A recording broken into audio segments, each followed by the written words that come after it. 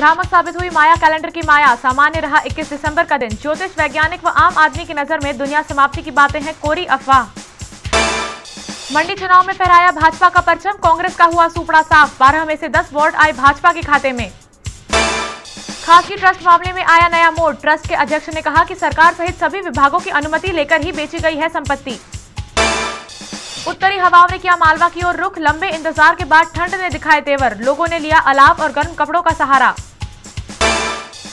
सिमरोड़ घाट पर अंधगति से आ रहे ट्रक ने बाइक सवार को मारी टक्कर। भीषण हादसे में एक की मौके पर हुई मौत, दूसरा गंभीर रूप से घायल। वहीं दो अन्य हादसों में पलटी स्कूल बस व ट्रैक्टर ट्रॉली।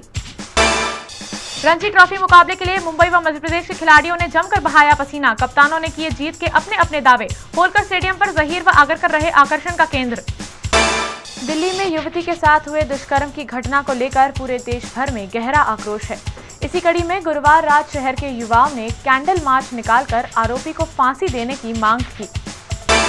हिंदी और दक्षिण फ़िल्मों के मशहूर अभिनेता कमल हासन 11 जनवरी को रिलीज़ हो रही अपनी फ़िल्म विश्व रूप के प्रमोशन के लिए इंदौर पहुँचे।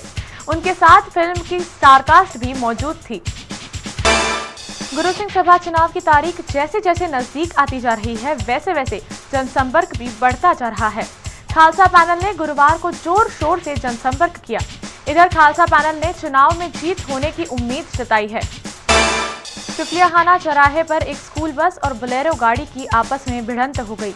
टक्कर इतनी जोरदार थी कि स्कूल बस सिग्नल तोड़ती हुई पलटी खा गई। इधर दुर्घटना में दोनों वाहन के चालकों को गंभीर रूप से चोट आई है। जिला जेल में परिजनों से मुलाकात के दौरान सजायाफ्ता कैदी ने अपने दो बेटों की बाहों में दम तोड़ दिया। दरअसल मृतक अपने दो बेटों के साथ जिला जेल में हत्या के आरोप में कैद था।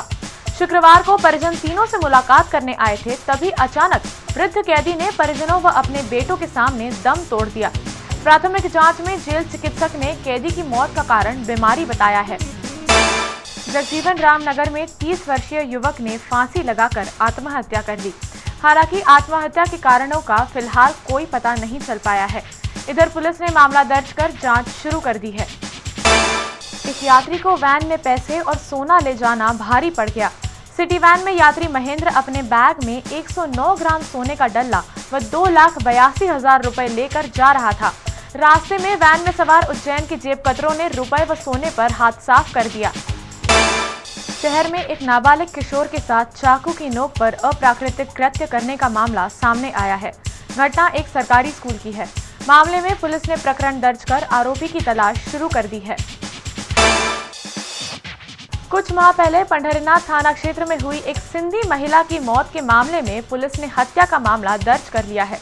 पोस्टमार्टम रिपोर्ट में महिला के सर पर चोट लगने और मौत से पहले शारीरिक संबंध बनाए जाने की बात का भी खुलासा हुआ है।